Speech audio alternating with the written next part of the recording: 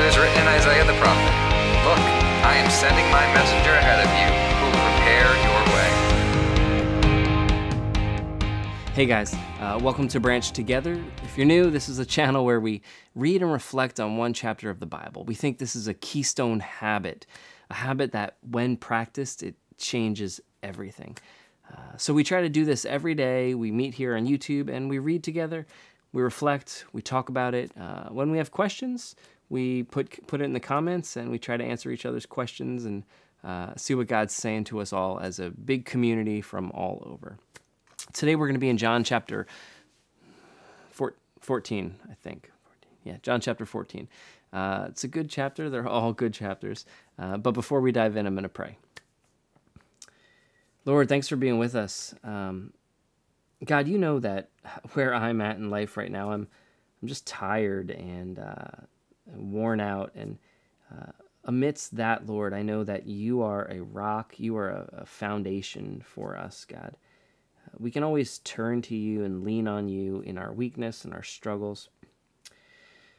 God, I, I pray that you help everyone in this community, wherever we are uh, listening to this today, that you help us to look to you as the rock, the foundation that we build upon, Lord, and uh, help us to put our trust in you and to rely on you. God, uh, shape us into your followers uh, like we want to be. And uh, I pray that this word uh, challenges us and shapes us and transforms us. Be with us today. In your name we pray. Amen. Don't let your hearts be troubled. Believe in God. Believe also in me. In my Father's house are many rooms. If not, I would have told you. I am going away to prepare a place for you. If I go away and prepare a place for you, I will come again and take you to myself, so that where I am, you may be also.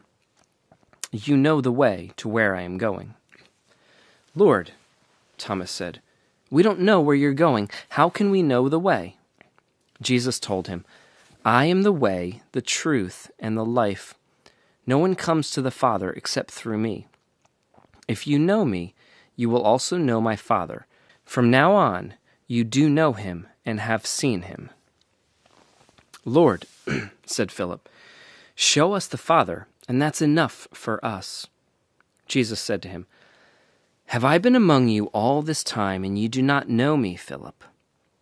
The one who has seen me has seen the Father. How can you say, Show us the Father? Don't you believe that I am in the Father, and the Father is in me? The words I speak to you, I do not speak on my own. The Father who lives in me does his works. Believe me that I am in the Father, and the Father is in me. Otherwise, believe because of the works themselves. Truly I tell you, the one who believes in me will also do the works that I do. He will do even greater works than these, because I am going to the Father. Whatever you ask in my name, I will do it, so that the Father may be glorified in the Son. If you ask me anything in my name, I will do it. If you love me, you will keep my commands. And I will ask the Father, and he will give you another counselor to be with you forever. He is the Spirit of truth. The world is unable to receive him because it doesn't see him or know him. But you do know him because he remains with you and will be in you. I will not leave you as orphans. I am coming to you. In a little while the world will no longer see me, but you will see me. Because I live, you will live too. On that day you will know that I am in my Father. You are in me, and I am in you. The one who has my commands and keeps them is the one who loves me. And the one who loves me will be loved by my Father. I also will love him and will reveal myself to him.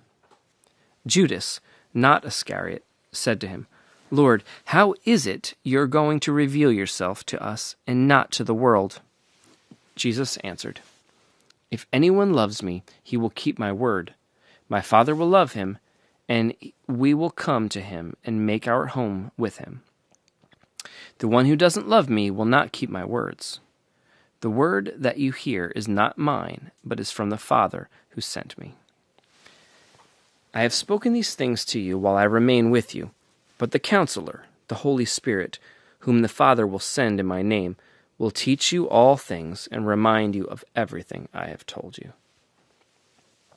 Peace I leave with you. My peace I give to you. I do not give to you as the world gives. Don't let your heart be troubled or fearful. You have heard me tell you, I am going away, and I am coming to you. If you loved me, you would rejoice that I am going to the Father, because the Father is greater than I. I have told you now before it happens, so that when it does happen, you may believe. I will not talk with you much longer, because the ruler of this world is coming. He has no power over me. On the contrary, so that the world may know that I love the Father, I do as the Father commanded me. Get up. Let's leave this place. Okay, so um, I want to just go back to the beginning of this chapter and kind of read through this together. Um, just jump back to the beginning with me. Okay. If you have a Bible, you can pull it out or uh, just listen. Don't let your hearts be troubled. Believe in God.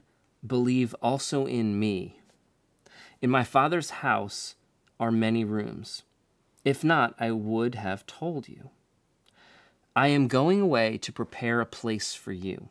If I go away and prepare a place for you, I will come again and take you to myself, so that where I am, you you may also be. So th- this first part, he's this is the this is the Christian hope, right? That uh, God is preparing a place for us, wherever it is, however however you think about it. Uh, there is a, a home for us to dwell with God. Uh, those of us who are believers, that is our hope as Christians, uh, and it's wonderful. And then he throws in this amazing line, and he says, "You know to you know the way to where I'm going," and it's a little bit curious, and you can't really blame Thomas here because uh, Thomas says, "We don't know where you're going. How can we know the way?" So uh, he, he's thinking like you're going to a place and we need the directions. Uh, we need the address. We need to put it into our GPS and be able to find there. And um, Jesus was, I think it's brilliant the way he presented this, that uh, telling them that they know the way. Uh, and, and then he says, okay, um, he responds to Thomas saying, uh, We're not sure where you're going. How can you say we know the way? He says, I am the way, the truth, and the life. No one comes to the Father except through me. So Jesus says, whatever you think about where I'm going, the, the direction, there's a way to get there, and you know it already.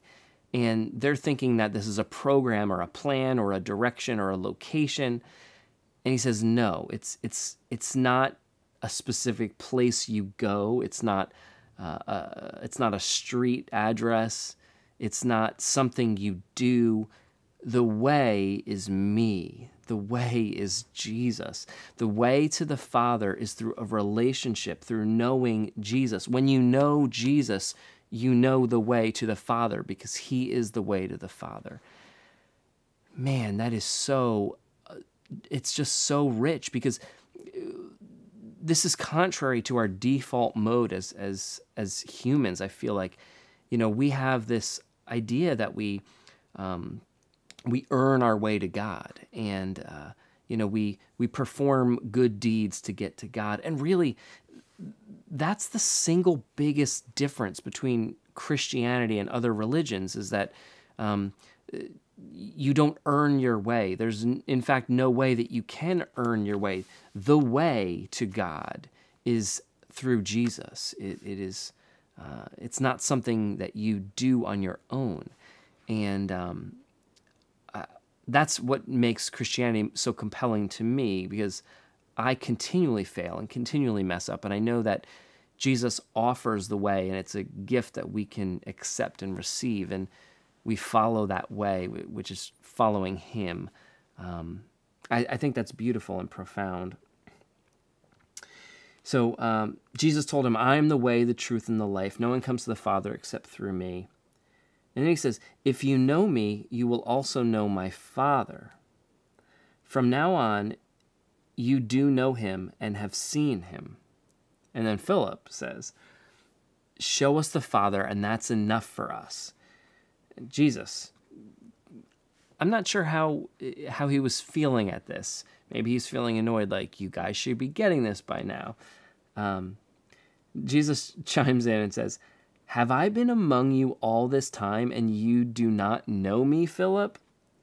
The one who has seen me has seen the Father. How could you say this? How could you say, Show us the Father? You're missing the point.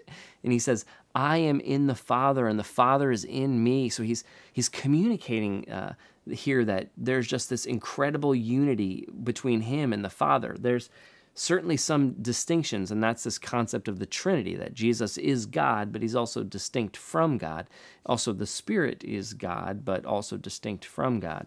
Uh, and that's complex, and theologians have wrestled with how to make a model to explain that. And uh, it's not exactly something we can explain, but we do that Jesus is divine, he's God, but he's also man. And and he walked this earth as a man and that's the best picture we have of god is the god man walking this earth that's why the gospels are so important because uh, they're pictures of jesus and you've heard me say that before um, yeah, so that's where I wanted to go through. So, so two things. Um, number one, the way to God is not a plan. Uh, it's it's not a program. It's it's not doing good deeds. It's not finding your inner blah blah blah. It's it's a person. It's the person who is in complete and utter unity with the Father, and that's Jesus.